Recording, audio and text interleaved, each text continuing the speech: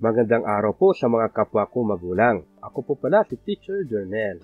Ang pag-uusapan naman po natin ngayon ay ang pre-reading skills. Sa segment po na ito ay magkakaroon tayo ng apat na part. Dito po sa part 1, ang pag-uusapan natin ay ang listening o auditory discrimination o ang listening skills ng ating mga anak.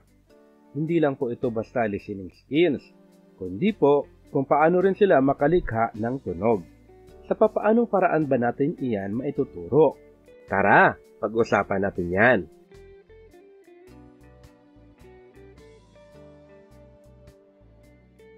Bakit ba napakahalaga ng bagay na ito? Mahalaga ang bagay na ito upang masanay sila sa pakikinig sa atin kung ano ang tunog ng bawat letra at malikha din nila ang tunog na tinuturo natin sa kanila.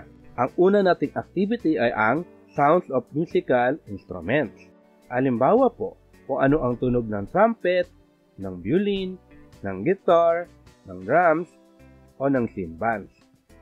Ang maipapayo ko lang po kung hanggat maaari ay makadownload tayo ng mga tunog nito o makahanap tayo ng mga tunog nito ay mas mainam po. Bakit? Kasi po magiging mas makatotohanan ang mga tunog. O kung hindi naman tayo makadownload ay maaari naman po nating gayahin ang mga tunog na ito.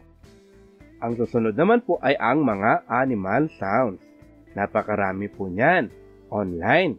Kung ano ang tunog ng kabayo, ng duck, ng cat, ng dog, at ng cow. At ang pangatlo pong activity ay ang sounds of different things. Ano-anong mga bagay ba iyon? Halimbawa po, ang tunog ng police car, ang tunog ng ambulance, ang tunog ng pito, ang tunog ng bell, o ang tunog ng train.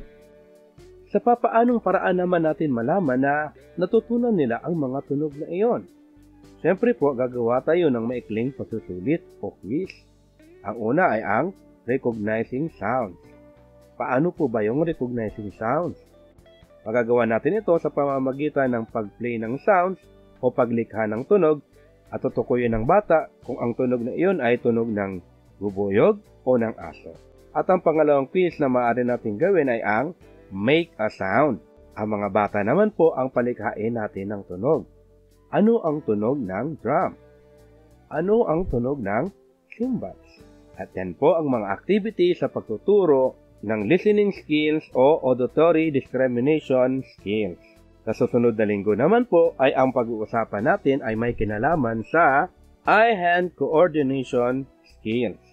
Kung may mga suggestions at tanong po kayo or may gusto kayong paksa na pag-usapan natin, paki-comment na lang po sa ibaba. Huwag niyo po ang kalilimutan na mag-subscribe at i-click ang notification bell para ma-notify agad kayo sa mga susunod nating video.